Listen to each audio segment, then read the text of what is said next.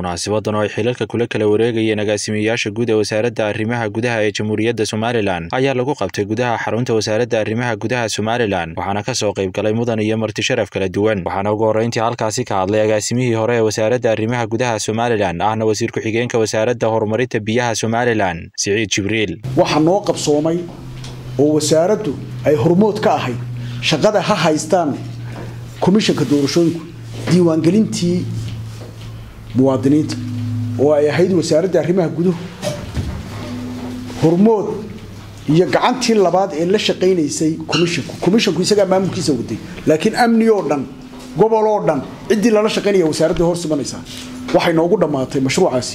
Guul oo aan kula shaqaynay komishanka.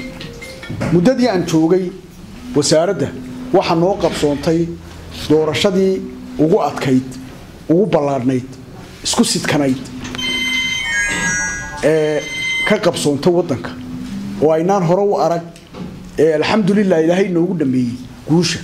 Wasaaraddu waxay ka ahayd qaybta ugu muhiimsan. Marka laga yimaado shaqada uu hayay komishanku. Dhankooda waxaa halkaasi hadalka iska daba qaatay mudan iyo marti sharaf kala duwan oo munaasabadda ka soo qayb galay. Waxaan filayaa inay tahay wasaaraddu sidaa ay sheegtay agaasimaha waaxda inay tahay halbowlaha qaranka. Marka laga hadlayo xagga maamulnaaga oo ah runtii ugu badan ee annagu aan xiriirka badan la leenahay. Waxaa jirtay taabarkii ugu dambeeyey ee dowladaha hoose waan ka wada shaqeynay wasaaradda waan ku soo wada marray muxuu ahaayey inductionkii la siinayey gobollada oo dhan. Marka runtii commission ahaan waxaanu jecelnay inaan wasaaradda annaguna si dhow la shaqeyno. Waxyaalaha ku cad imanka tusaale ahaan marka la sameynayo qorshaha imanka miisaaniyadda waa socota miisaaniyada socoto marka la sameynayo wuxuu sheegaya xeerka seventy one marka laga hadlayo amba xeer twenty three marka laga hadlayo ee wasaaradda ku shaqeyso wuxuu sheegaya marka miisaaniyadda la sameynayo inay siduwa ka soo bilaabato waxaanu inoogu ducaynaynaa maadaama ay meeshani tahay halbowlihii dalka ama organkii ugu muhiimsanaa dalka uu ka dhaqaaqayay. Waxaan ugu ducaynaynaa ilaahay inuu ku astiro waa shaqaale isku duuban iyo madax isku duuban oo aan khilaaf iyo midna lahayn markaa waxaan leeyahay idinkuna sidaasuma insha allah ula qabsan doontaan. Agaasimihii hore ima haddana ah wasiir ku-xigeenka biyaha siciid. Muddadii noola joogay si fiican baan wada shaqaynay. Aad iyo aad buu mahadsan yahay isaguna waa sii sagootayeynaa meesha uu tegayna waxaan leenahay insha allah ilaahay sidii aad halka noogu shaqayn jirtay si ka fiican inaad uga shaqaysaan rajaynaynaa intaasi waa intaas. Kolley waxaynu geli doonaa uun xil wareejintii isbarasho badanna waa u baahan doontaan. Waxaan jeedaa waynu sii waraysan doonaa wax kaloo badan. Oo hadda miidiya xaggeeda aynaan ka sheegahayn ama aynaan kaga hadlin miidiyaha oo shaqooyinka khuseeya hoose iyo qof kastaaba shaqaduu qaban doono iyo mid kastaaba qaybta uu leeyahay aad iyo aadna waa idiin salaamaya waana idiin soo dhaweynaya ku soo dhawaada baan ilahay dhammaantiin labada agaasimo guud ee cusub ee ibraahim iyo cabdirashiid ee la soo magacaabay iyagana waxaan leeyahay ku soo dhowaada wasaaradda. Waa wasaarad ballaadhan sida laga sheekeeyey. Waxaa hoos yimaada hay'ado fara badan oo kale ay ka wada shaqeeyaan xagga security-ga. Waxaa ka mid ah ciidanka booliska jamhuuriyadda somalilan ciidanka ilaalada xuduudaha ama immigrationka ciidanka ilaalada xeebaha iyo ciidanka damdamiska isla markaana waxaa hoos yimaada dhammaan gobollada iyo degmooyinka dalka. Gobollada dalku waxay ka kooban yihiin afar iyo toban gobol.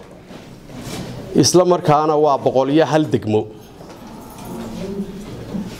Wasaaradda arrimaha gudaha mashaariicda ugu waaweynee ka socota waxaa ka mid ah mashruuca jbl g iyo mashaariic kale oo maamul daadejina wasaaradda arrimaha gudaha marka laga hadlayo waa halbowlihii wadanka structureka wadanku qaabku u dhisaya marka laga sheekaynayo waxaa la idhaahdaa central government region and local government. Marka wasaaradda arrimaha guduhu waa tamaamusha grassrootinka waxaa la idhahdaa halku dadku ka bilaamo ama dowladnimadu ka bilaamanto.